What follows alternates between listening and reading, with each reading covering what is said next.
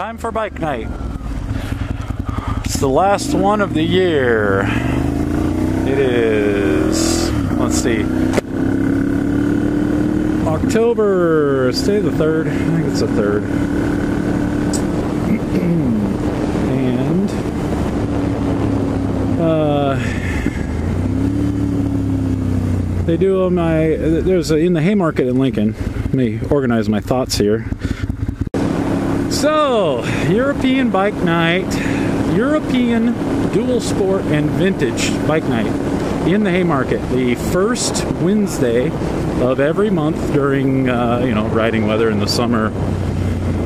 I forget, is it April, I believe they start, April through October? Uh, it's a good time. Hopefully, there'll be a whole bunch of bikes there tonight because it's uh, the last one, and gosh, the weather is absolutely perfect.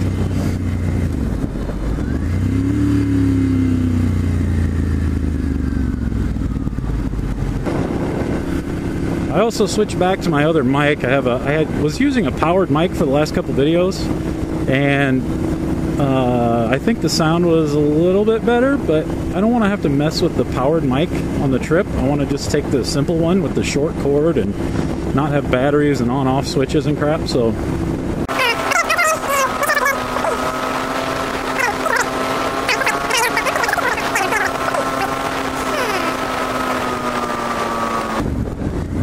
bumper sticker on the little Plymouth neon in front of me. It says, I heart ethanol. I sort of don't. Fermenting corn, and uh, I can hear my GPS clearly with the Hyperstrada. Oh, and by the way, thank you, uh, Garden Snaky. Got my RHOK jeans on here. Just got them today. I kind of it was kind of a last minute thing. I was like, oh, what pants am I going to take? I've got. I tried out some uh, Duluth Trading Company.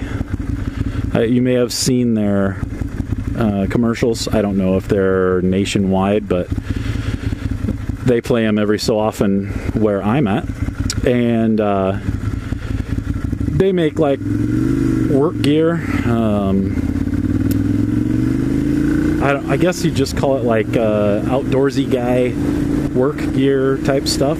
But anyway, they have so the fire hose work pants, right? And so if you don't know, fire hoses are made from a thick, like canvas material, and you can get uh, their work pants are like that same exact material, right?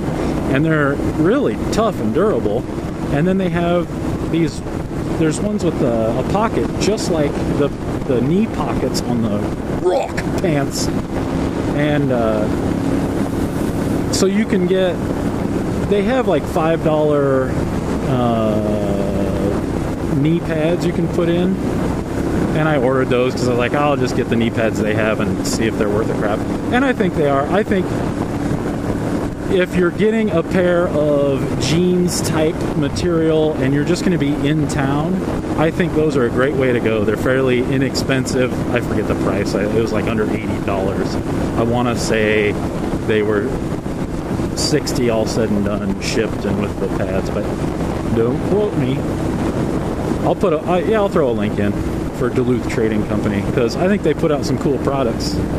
But uh, yeah, so I've got a pair of those. They're black, and I've worn them several times. But I just I didn't feel comfortable. I've I've ridden around on highway rides and stuff, and I thought, you know, I just uh, I want some better abrasion resistance, and those aren't going to cut it. I think in a around town in that you know below 50 mile an hour uh, accident or slide, you're going to be okay.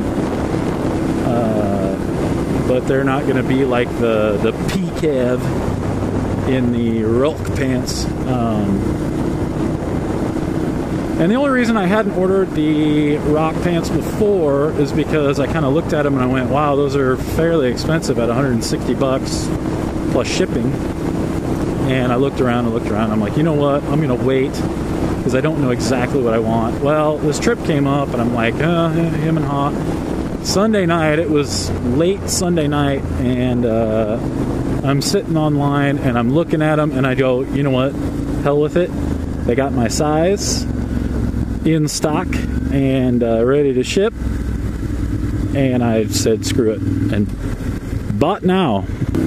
Took them out of the box excitedly today and checked them out, and I'm actually pretty damn impressed. I mean, you can see what they look like online, you know, and that's, you know, it's fairly accurate. They look cool. The new ones, so they have the side zipper, which is nice, and the pads, uh, the CE armor is nice, and they're soft. They are so soft.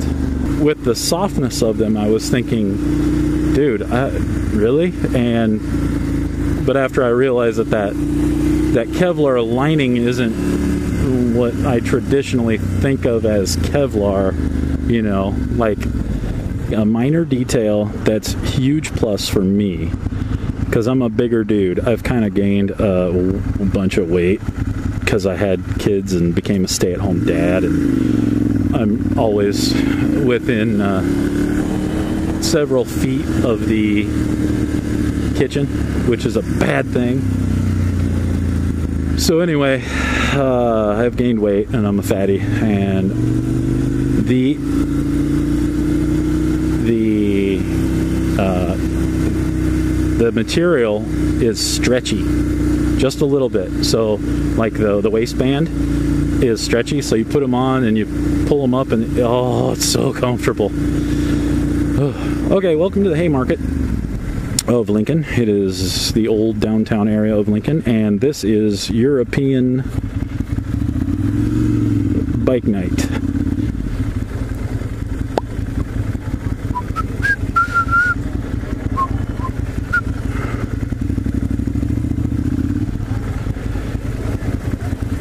Uh, let's see, I'll squirt it in right here. Oh.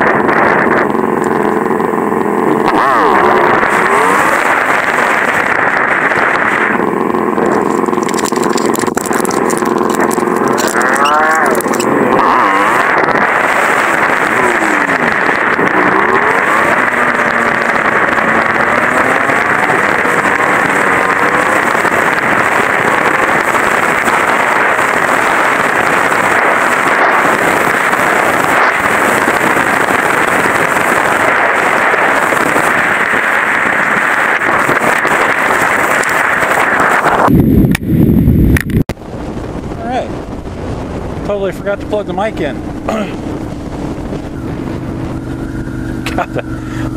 Dave's got HIDs on his GS. Those freaking things are bright.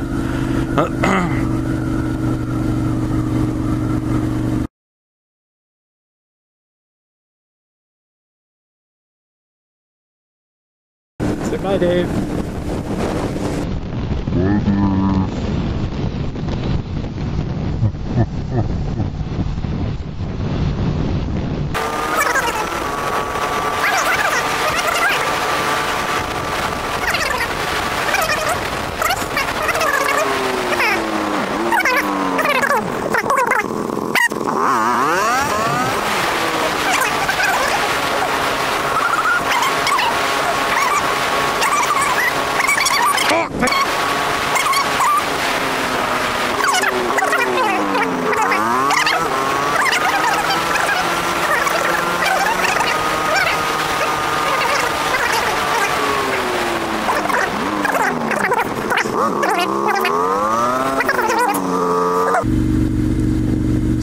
Golf course right here. Oh, I just drove through sprinklers.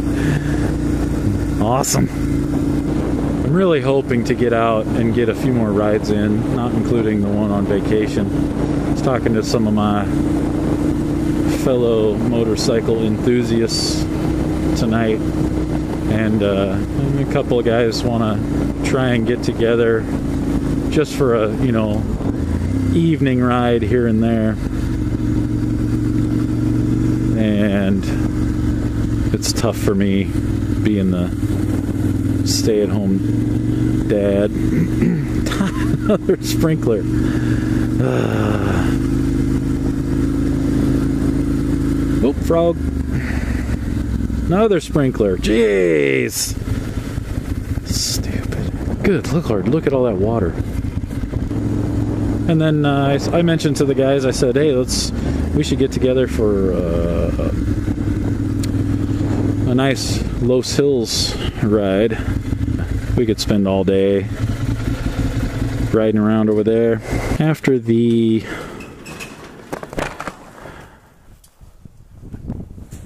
leaves start to change very shortly, it's going to be really pretty. Let me turn that on so I can see. The Harley, Harley, Harley, Harley. Yeah, that's not mine. That's my brother-in-law Joe's. Pretty sweet street light. Check out my uh, accidental broadcast love to Ribe. And I got my spoke skins. All right, folks. Good night.